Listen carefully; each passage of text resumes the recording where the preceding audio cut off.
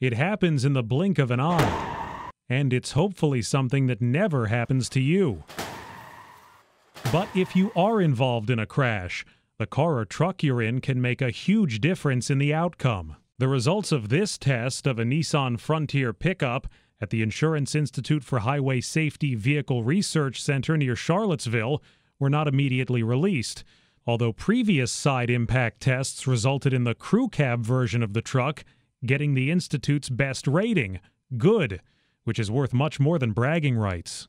A good example is our side impact test, um, where you know roughly you're roughly 70% less likely, um, you know, to die or be seriously injured in a good vehicle compared to a poor vehicle. But comparing cars' crash test ratings might not be as simple as you think.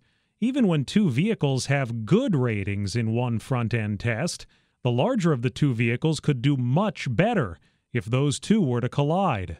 The one caution that we would make is that, you know, for our frontal moderate test, um, you can't compare across classes. So, so that rating can't be compared for a smart car, you know, to an F 150. You can't beat physics. So, um, you know, mass is, is still going to win out. There is some safety uh, disbenefit for, you know, smaller vehicles.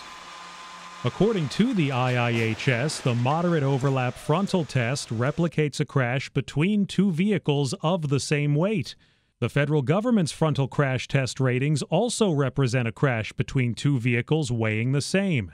Staying safe gets even more complicated with more older vehicles on the road. We're holding onto our cars longer than ever before. The average car on the road in 2016 was over 11 years old, according to researchers at the firm IHS Markit. 10, 11 years ago, uh, electronic stability control was fairly new. Side airbags were, you know, just starting to come onto the market. And so, you know, even for a used car buyer, those are some of the features that we encourage them to buy when they're looking for a used car. Would you advise against driving an 11 year old car every day, knowing what you know in your job? Let's say no. I mean, I think there are safe cars out there even 10, 11 years ago. Though many of the cars we're driving are even older than that over 60 million or at least 16 years old, and that category is only growing. The safety of those cars is a mixed bag. You know, even when we began testing uh, frontal crashes in you know the mid 90s, uh, there was a lot a lot of occupant compartment collapse, um, and so even though cars had airbags, uh, the structure didn't hold up to allow those to do what they were designed to do. So there's still a, a big difference in, in cars today, and you know even 20 years ago. Perhaps most surprising is how one classic car stacked up.